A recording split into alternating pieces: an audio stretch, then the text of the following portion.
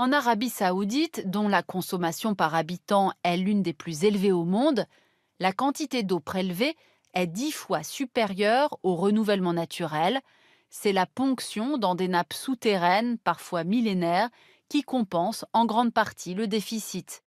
Mais ces stocks d'eau fossiles sont limités, les forages deviennent de plus en plus profonds et coûteux et ils assèchent les sources utilisées par les agriculteurs traditionnels.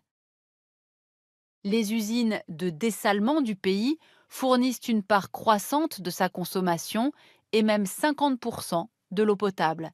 L'usine de Ras Al Khair produit chaque jour plus d'un million de mètres cubes d'eau douce à partir de l'eau de mer et alimente 3,5 millions et demi d'habitants de Riyad.